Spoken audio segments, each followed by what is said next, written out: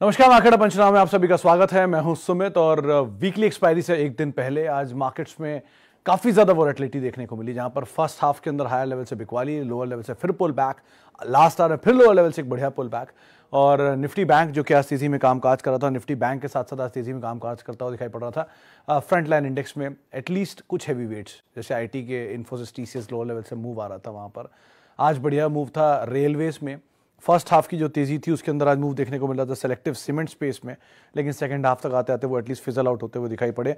इसके अलावा आ, आ, बाकी स्पेसेस जहाँ पर आज खरीदारी तो उसमें काफ़ी डाइवर्सिफाइड मूव आज आपको दिखाई पड़ेगा। मिसाल के तौर पर आज मेट्रोपोलिस हेवी सेल ऑफ़ के बीच में कामकाज करता हुआ दिखाई पड़ रहा था वहाँ पर एक तेज बिकवाली आज के सत्र के अंदर बनते हुए दिखाई पड़ रही थी। इसके अलावा आज जो बिकवाली का दौर आपको दिखाई पड़ेगा वो मेजरली दिखाई पड़ेगा खासतौर से उन स्पेसिस में जहाँ पर नंबर्स का इम्पैक्ट रहा है रिसेंट फ्रंट पर। अदानी समूह के शेयर आज टूटते हुए दिखाई पड़े। एटलीस्ट लास्ट आर में वहाँ पर तेज सेल ऑफ़ देखने को मिला और अदानी समूह के साथ साथ जहाँ पर आज मेजर बिकवाली आज के सत्र में देखने को मिली, उसमें इंडिविजुअली डाइवर्सिफाइड स्पेस के शुगर जैसे तेज़ी में था सेकेंड हाफ़ में थोड़ा फिजल आउट हुआ, बढ़िया तेज़ी थी रेलवे स्पेस में। ये लगातार दूसरा दिन आपकी तेज़ी में था। In fact I R F C S stock भी आज अपने ऑल टाइम हाइस पर बंद होता हुआ दिखाई पड़ा। तो रेलवे में एक अच्छा बज़ है जो कि कंटिन्यू है। डिफेंस में थोड़ी प्रॉफिट टेकिंग लास्ट आर में देखने को मिली। वैसे लेकिन Astra microwave H A L B L जैसे शेयरों में लगातार मुँह बनाया हुआ है। चलिए, सवाल आपका सिलसिला शुरू कर लेते हैं सीधे बातचीत करते हैं सवालों को लेकर। मनोज वाणी साहब का पहला सवाल है Bikaji food for long term Manoj sir तो आज आपको प्रॉफिट मिल रहा था, आपको ले लेना चाहिए था। अगर आपको लिस्टिंग गेन के लिए आपने लिया है तो। और रही बात लॉन्ग टर्म के लिए तो अभी तो नीचे मिलेगा ये। मतलब ऐसा कुछ नहीं है कि इसमें बहुत दिन तक ये सस्टेन करेगा दाम। बहुत सारी चीज़ें हैं। पहला तो आईपीओ बहुत प्रीमियम साइड पर है। तो प्रीमियम साइड का आईपीओ तो प्रीमियम शेड करेगा। दूसरा नंबर्स अभी आएँगे, और नंबर्स का इम्पैक्ट भी आएगा, आज नहीं तो कल, नहीं तो परसों, जब भी अगले क्वार्टर के नंबर या दो चार क्वार्टर के नंबर आएँगे। प्लस इक्विटी छूटेगी, पहले तो एक महीने वाली छूटेगी लॉक इन पीरियड खत्म होगा, फिर छः महीने वाली छूटेगी, जिनमें प्री एंकर इन्वेस्टर छूटेंगे। तो ये सब चीज़ें जब होनी है छः महीने तक तो क्यों ही आपको लेना? गेन आपने लिस्टिंग के लिए लिया था, ले लीजिए। लॉन्ग टर्म के लिए लिया था, अभी वेट कर लीजिए, नीचे मिलेगा, और ले लीजिएगा। तब उस समय कॉल ली जाएगी, उस तरह के नंबर्स को देखने के बाद। कंजम्पशन ड्रिवेन स्टोरी अच्छी बात है इंडिया की, लेकिन हर चीज़ का एक फेयर वैल्यू होता है। वो फेयर वैल्यू से ऊपर है तो क्या ही उसमें घुस के करना।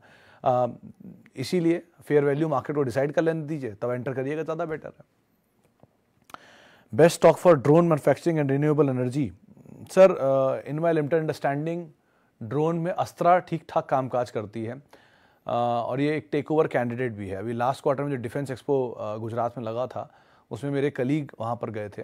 तो उनसे जब मेरी बात हुई तो उन्होंने बात साफ़ की थी कि वहाँ पर डिफेंस को लेके काफ़ी काम है और अस्त्रा ने कई ड्रोन्स वहाँ पे रिफ्लेक्ट भी किए थे। तो ये कंपनी ठीक लग रही है अगर आप इस स्पेस में देखना चाह रहे हैं। रिन्यूएबल एनर्जी की सबसे बड़ी प्लेयर ऑब्वियसली बात है रिलायंस ही रहेगी क्योंकि उन्होंने जितनी भी छोटी कंपनियों उनको टेक ओवर कर ही लिया है। सो so, वो लार्जेस्ट प्लेयर है लेकिन हैविंग सेट दैट आप पावर में जाना चाहते हो टाटा पावर ज़्यादा बेटर प्लेयर आपको दिखाई पड़ेगा। इसमें पूरा बुके मिल जाएगा आपको अलग अलग हाइड्रो रिन्यूएबल एनर्जी का भी और थर्मल का भी।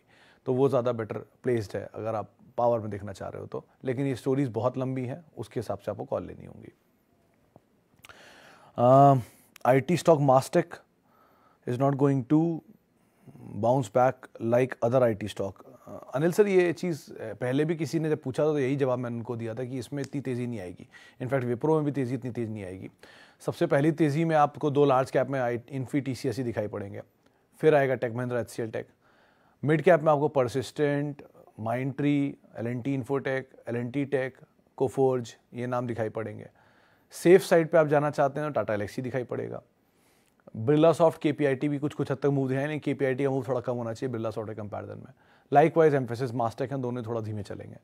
लेकिन कंपनी ख़राब नहीं है समय दीजिए पैसा बन जाएगा इसमें। आ, लेकिन बहुत बड़ी तेज़ी जो बाकी आईटी में आ सकती है उसके कंपेरिजन में थोड़ी उम्मीद कम है। तो आपको कॉल वैसे लेनी होगी। सेगमेंट वाइज स्पेस वाइज या कंपनी वाइज कॉल लीजिए, वो ज़्यादा बेटर रहेगा। ये सेफेस्ट ऑप्शन है लॉन्ग टर्म इन्वेस्टिंग के लिए, लेकिन नियर टर्म पुल बैक के लिए आप और बेटर ऑप्शंस को तलाश सकते हैं, जो कि थीम है। थीम के हिसाब से चलिए, वो ज़्यादा बेटर है। बैटरी सेक्टर अप मूव देंगे। हर सर अभी तो चला है अमर राजा बैटरी नंबर्स के बाद क्या शानदार तेज़ी आई। एक्साइड में भी नंबर्स के बाद बढ़िया तेज़ी आई। आप जिस मीडियम टर्म या स्मॉल टर्म अप मूव की बात कर रहे हैं, उसको तो मैं ट्रैक करता नहीं। रही बात लॉन्ग टर्म के लिए Amara Raja battery is well placed numbers क्योंकि बहुत अच्छे थे। एक्साइड के कंपैरिजन उसके नंबर ज़्यादा बेटर थे। तो अमर राजा बैटरी के ऊपर मैं ज़्यादा फोकस करूँगा या फिर ज़्यादा अच्छा मानता हूँ इन दोनों कंपैरिजन में। और बाकी भी कंपनी का एफएमसीजी बिज़नेस भी है टेलीकॉम में भी है डिफेंस में भी है। और डिफेंस और रेलवे की जो थीम चल रही है, उसके की प्लेयर में ये भी एक बड़े प्लेयर आते हैं।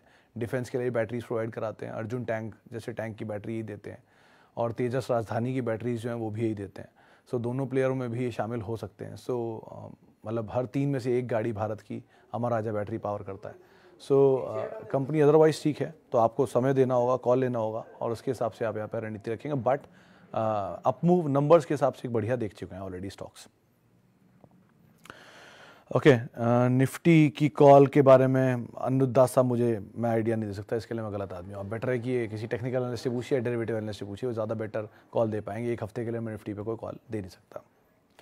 Uh, इसके अलावा आईआरसीटीसी गौतम सर सबसे ज़्यादा अगर कोई रेलवे शेयर हाल की तेज़ी के बिना भी चला है तो वो आईआरसीटीसी है। तो इतनी बड़ी तेज़ी के बाद थोड़ा बहुत अपमूव मिल सकता है लेकिन ये बहुत बड़ी तेज़ी का पाई ऑलरेडी निकाल चुका है। तो आपको उस हिसाब से कॉल लेना होगा। हाल फ़िलहाल की तेज़ी वाले शेयरों में अगर आपको चुन रहे हैं तो आई एक बार को बन सकता है, क्योंकि बहुत लंबे समय के बाद अपने इशू प्राइस के ऊपर गया है। और जो इशू प्राइस का सेलिंग का ओवरहैंग है, वो ख़त्म हुआ आज। और ऑल टाइम हाई पे ब्रीच किया तो ऑल टाइम हाई थोड़े दिन तक अभी चल सकता है। But having set that IRCTC में एक चीज़ का आप ध्यान रखिए कि बहुत बड़ी तेज़ी अपनी लिस्टिंग के बाद दिखाई चुका है। तो वो प्रीमियम ऑलरेडी कमांड करता है। ये क्वार्टर के नंबर्स में वाई वाई बेसिस पे नंबर अच्छे थे सीक्वेंशली नंबर कमज़ोर थे। तीन मेजर सेगमेंट इनके जो हैं टिकटिंग वाटर और शायद टूरिज़्म ये तीनों में ही नंबर वीक आए थे क्यू ऑन क्यू बेसिस पर। करीब करीब 55 परसेंट ये टोटल इनके नंबर्स का हिस्सा रखता है। इसीलिए शेयर टूटा था नंबर्स के बाद। तो नंबर्स इतने कोई फायर वर्क नहीं है, लेकिन रेलवे की तेज़ी का बस अगर इसको ऊपर ले आता है तो आपके लिए अच्छा ट्रिगर होगा तेज़ी का बेचने के लिए। Uh, I T C and H U L what is the best level to buy them for long term as they are falling day by day Sanjay sir मेरा अगर बेस्ट लेवल पूछेंगे तो आई टी सी तो दो सौ बीस रुपये मुझे सही लगता है लेकिन वो लेवल अभी है नहीं वहाँ से सौ रुपये ऊपर है। तो आप कहेंगे तो गिरावट falling day by day all time high पे जाने के बाद अगर शेयर दो पाँच रुपया गिर जाए बीस तीस रुपया भी गिर जाए तो क्या ही गिरेगा? तीन सौ रुपये का शेयर तीस रुपये गिरता है, तब दस परसेंट होता है। तो तीन सौ रुपये का शेयर तीन सौ साठ रुपये का छू कर लेवल आज तीन सौ बयालीस तिरतालीस पे बीस रुपये गिरा है। अभी तो मुश्किल से पाँच परसेंट, आठ परसेंट भी नहीं टूटा और आप कह रहे हैं रोज़ गिर रहा है। H U I T C जैसे स्टॉक आपको एस आई पी वे में लेने चाहिए और दो चार रुपये के फॉल कोई बड़े फॉल नहीं होते हैं मार्केट्स में when you deal with these kind of stocks तो अगर आप क्वालिटी ले रहे हैं तो आप इस चीज़ के लिए अश्योर्ड रहिए कि आज नहीं तो कल वो भाव आपका वापस आएगा। अगर आपने क्वालिटी ली है तो। H U L I T C quality है Asian paints P D light quality है T C S Infosys quality है। ये क्वालिटी में आप किसी भी दाम में एंटर कर जाइए। छः महीने के अंदर, साल भर के अंदर, दो साल के अंदर आपका दाम वापस आ जाएगा। छोटे शेयरों में दाम आता है, नहीं आता है पॉसिबिलिटी है। स्मॉल कैप जिसे आप मल्टी बैगर सोच के एंटर करते हैं उन कंपनियाँ बचेंगी या नहीं बचेंगी, इसकी भी गारंटी नहीं है। लेकिन लार्ज कैप में उनका रिटर्न हमेशा कम इसीलिए रहता है, क्योंकि वो घूम कर उस दाम पर कभी ना कभी आ ही जाएँगे। बहुत ही रेयर ऐसे लार्ज कैप होते हैं, जिनमें स्ट्रक्चरल इशू होता है, जो अपने दाम को दोबारा छू नहीं पाते हैं। तो ऐसे शेयरों को आप अवॉइड करिए, लेकिन बाकी अच्छी कंपनियों में बने हुए हैं आप, किसी भी वे में नीचे एसआईपी करके आराम आराम से ले लीजिए, कहीं नहीं जा रहे हैं शेयर घूम के वहीं आ जाएँगे वापस। I T C and H Amit sir, अगर H D B L Som distillery है तो तेज़ी का एक बड़ा हिस्सा निकाल चुका है। साठ रुपये चल के एक सौ बीस रुपया, एक सौ तीस रुपये तक आया था।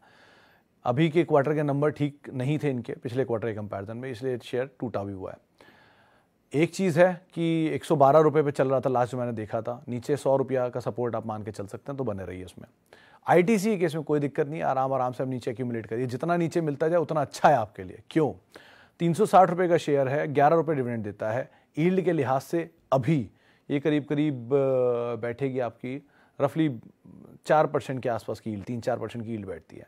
जितना नीचे आईटीसी आता जाएगा, अगर दस रुपये का डिविडेंड देता है और मान लीजिए किसी दिन दो सौ बीस रुपये आ जाता है तो पाँच परसेंट की ईल्ड बैठ जाती है, सात परसेंट की ईल्ड बैठ जाती है।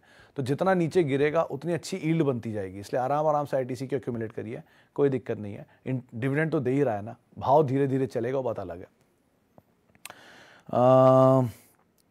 R V N L is moving like rocket क्या कर सकता हूँ? मतलब सर रॉकेट है तो कहीं ना कहीं तो फिजल आउट होगा ही। प्रॉफिट मिल रहा है थोड़ा थोड़ा लेते चलिए बेस्ट है। डी मार्ट निफ्टी के आने के बाद कैसे मूव करेगा? क्यों डाउन की पॉसिबिलिटी ज़्यादा है? अनिल सर, निफ्टी में आएगा या नहीं? पहले तो यही नहीं पता, अभी तक तो कहीं मेंशन नहीं है। अब तक तो आया नहीं। लिस्टिंग को होगा इसके शायद छः साल। अब तक तो नहीं आया। जो चीज़ अब तक नहीं आई, आगे कैसे आएगी? छः हज़ार रुपये का दाम टूट के तीन हज़ार रुपये आ गया। छः हज़ार रुपये में निफ्टी में नहीं पहुँचा तो तीन हज़ार रुपये कहाँ से पहुँच जाएगा? सो so, कुछ तो अब तक नहीं हुआ है तो आगे भी नहीं होगा। पहली पॉसिबिलिटी तो यही है।